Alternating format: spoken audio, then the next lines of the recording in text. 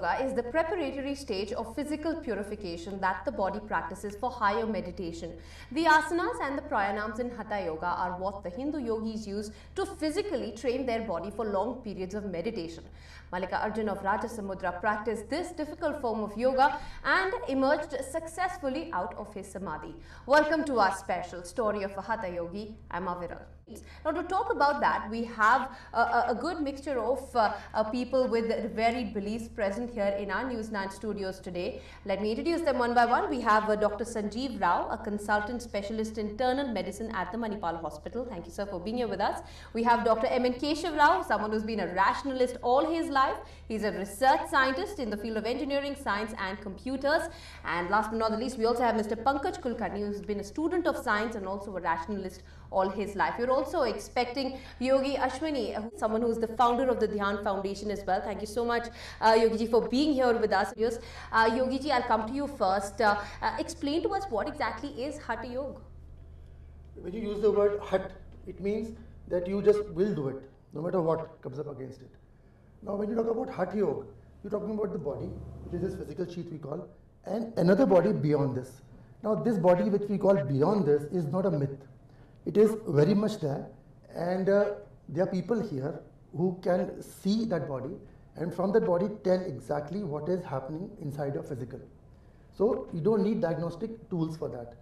This is a possibility and it's a 100% possibility and can we can prove that. That's the Can first you part. explain a little bit more about that when you say there is a physical sheath and then what lies beyond that? Uh, this physical sheath which you call the Annamaya Kosha is controlled by another sheath which is beyond the Pranamaya Kosha. It is a pranic body which controls this physical body. It is the control of this pranic body and the physical body which is called Hatha Yoga. We have energy centers located at seven places here right in front of the body which interpenetrate the physical body. Like the Ajna Chakra here controls the brain, complete functions of the brain. And the Vishuddhi here controls the parathyroid and the thyroid glands and the complete function of the throat. So the entire science of Hatha Yoga is controlling these centers and controlling them to perfection. In yoga, there is no such thing as 99%. In yoga, it is 100%.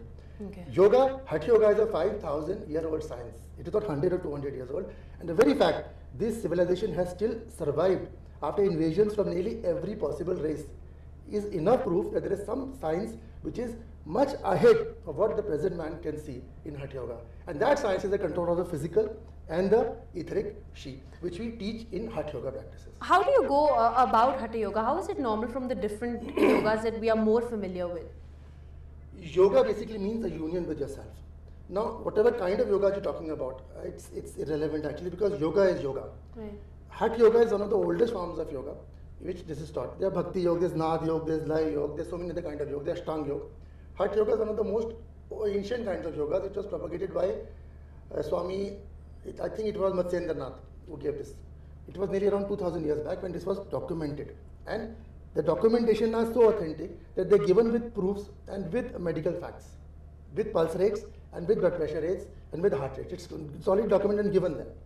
So can it uh, train a human body to uh, not want food, water, the basic necessities that we all live on?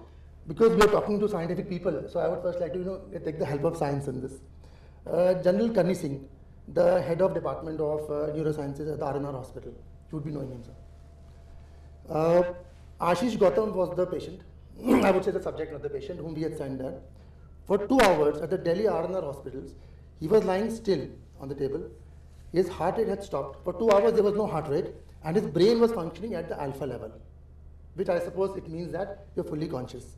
This has been documented by the specific doctor. I'd like to give you one more case.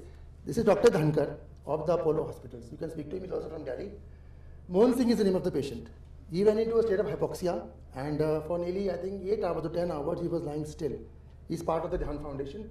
And after 8 hours, his brain functions are 100% normal. There is no question of any damage to any part of the body. These are not just two medical cases. The third one I will tell you of Apollo hospitals. This is Mrs. Jain. And uh, I'm not remembering the name of the doctor as, at the moment, but uh, her niece actually was in a state, a vegetative state for nearly nearly three months, and now she's absolutely fine, no damage. And these are all practitioners of Hatha yoga. So this is medical authentic- authenticated proof for this. And if you want any documentation for this, we can even give you the documentation. in America, in Louisiana State University, Dr. Nath, uh, it was, I'm forgetting the name of the doctor, it is uh, Swami Nath Brahmanand, who gave this test for two hours. He was smeared with wax. It was an airtight chamber, and uh, he held his breath. Of course, no question of any air inside, and he was absolutely fine when he came out after two hours of holding on completely. That means not even breathing through the pores. This is Swami Nath Brahmanand at Louisiana State University. You can see it on the net also. So these are medical proofs, medical facts that this science, which is a 5,000 year old science, is authentic. And as intelligent people, rather than commenting negative about it, we should explore it first and then see whether it's right or wrong. And we are there to prove it to you it's right. Now, Dr. Sanjeev, uh, uh, Ah, well, what I would like to say is that is there are hundreds of types of yogas. Hatha yoga is just one of them. right. Okay, they claim that there is a there is another body, which of course medically can never be verified.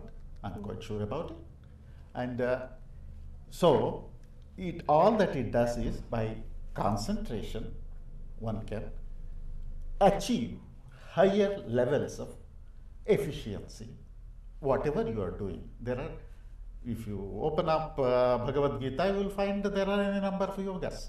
That's okay. That's what I'm uh, why I'm referring to. It's the method. Methodology is the most important thing. But whatever it is, as an experimental scientist, I can say clearly that this should be done in India because we claim to have the the best of them, Right. right? But, but, but do you think that and yoga. you can, you can put them in a glass case. Why I mentioned that and I, I don't I don't believe in that cave business is Right. if there is enough oxygen there, you have a huge area, huge space, plenty of air, plenty of oxygen. If there is only one man, you put hundred people into that and let us see how long they will survive. All right. Or instead of that, have a small chamber, say make it in glass.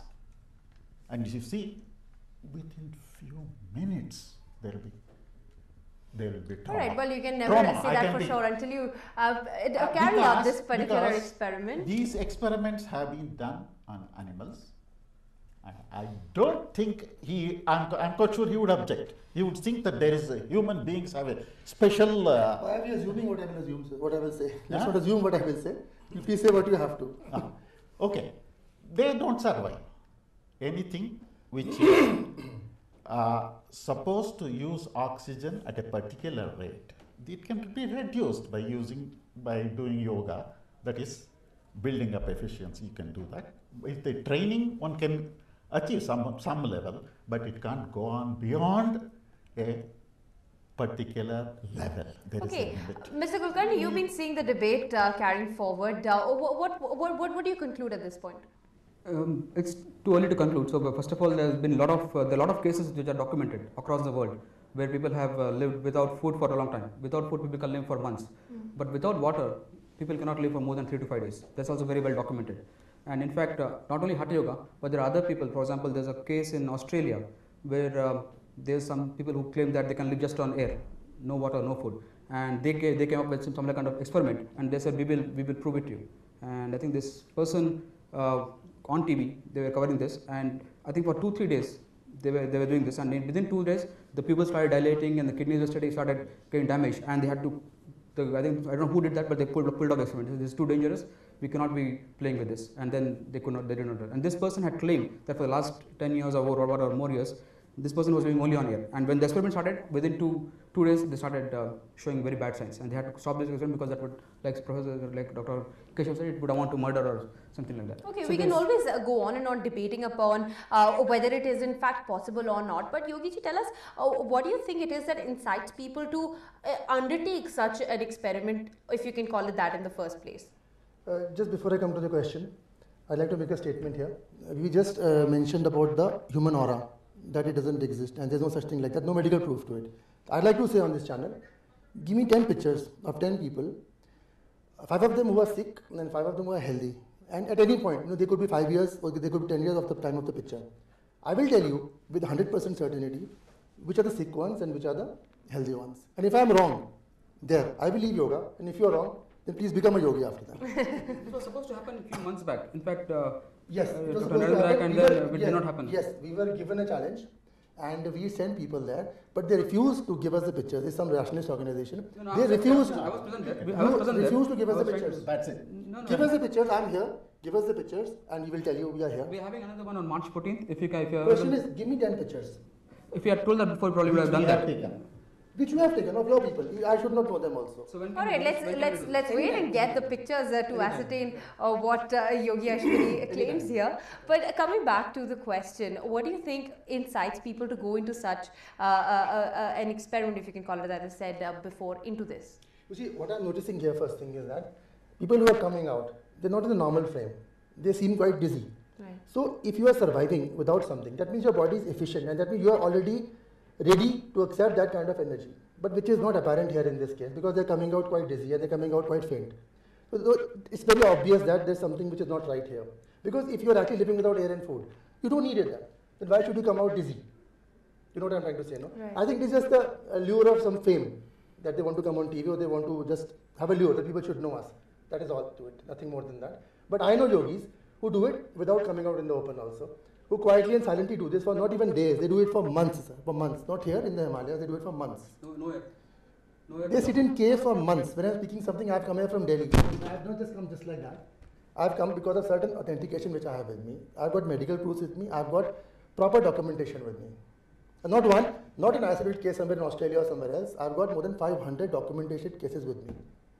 Why they allowed? Should this be a? Should, is that a good practice to allow? Do you mean that our our uh, samskriti or our culture should have allowed so many people to come and lord over us? So if you'll please, if you'll forgive me for this, it was only because of people like you who disapproved of this science and who forgot about this Which science that it was allowed. Which science are you talking about? I'm talking about the Vedic science. Where Where? if you read Vedas, what is written there, if you understand, So that's what I'm trying to tell you. The 7% brain, we are not to use that in it yoga. doesn't say we are not to anything about the brain. Okay, tell me. You say you are. It uses other words which mean lot things different. Which Veda are we talking about? Let's go specifically. Huh? Which, Which- Veda are we talking about? Which Veda are we talking about? Rig Veda, of course. Rig Veda the other things, other Vedas are Rig Veda. uh, useless. Okay. No, nothing is If useless. you ask me, The people if of you our age, yeah, being a part of this country, say it is useless. It is very sad. I Because say. It is very compared to Rig Veda, all others have been added on. There are many things. So how, are how old is Rig Veda? about 3000 years old. Where, what was the world doing 3000 years back when this was being documented? What was the world doing? That's an excellent question you asked me. We were really great in that So year. we are For following that age- great science only. For talking about that great age, science only. And that hasn't survived. It can't survive because science grows. What we know about the human body in the last 100 years is much more important than Sir, what sir, we in have the last for the 100 last years, 5000 years. incidence of cancer has gone I up mean- by 500 times. That's what we know. we hasn't. have spoiled Cancer the land. has we have been spoiled there. the land by polluting with chemicals. Now we are coming This- on GM this- food. this- This is your science, 200 year old science. You go to Punjab, You- there is no village without you cerebral know palsy cases. now- you know villages now are, villages is are full of cancer. cancer cases. What about this? What is your science doing there then? It is just because these people have forgotten our Vedic sciences, Vedic culture. That's why these things are happening. And I request people like you, senior people like you, to stand up with us and try to get into the experimentative stage. We can prove to the world what this science is all about. By just standing and denouncing it, no, no, no, it doesn't help. Do Let you- us come to the experimentation table and then we'll talk. That's the best thing. That is the- That's the best. Right, whether we should combine and experiment with ancient science and modern science is the question here. We'll talk more about that, but on the other side of this very short break.